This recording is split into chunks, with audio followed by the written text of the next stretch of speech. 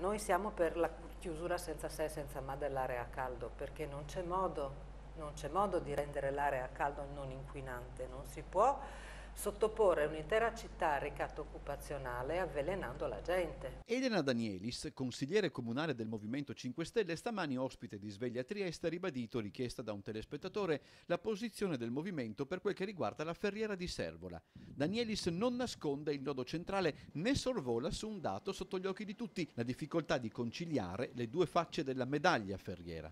Conciliare l'occupazione con la chiusura dell'area caldo non è banale non è banale, non è un problema di soluzione rapida o per cui chiunque ha in tasca eh, i jolly, non, non, è semplicissimo ed è assolutamente doveroso, soprattutto in una città come Trieste che ha i livelli di, di disoccupazione che tutti conosciamo, non, non, non, possiamo pensare di lasciare a piedi tutte quelle famiglie. È, è un, un lavoro da fare, però su una cosa il 5 Stelle non ha dubbi, la necessità di chiudere l'area a caldo. Pure, secondo l'esponente grillina, se non la soluzione quantomeno una proposta per ragionare su un progetto sarebbe già a portata di mano.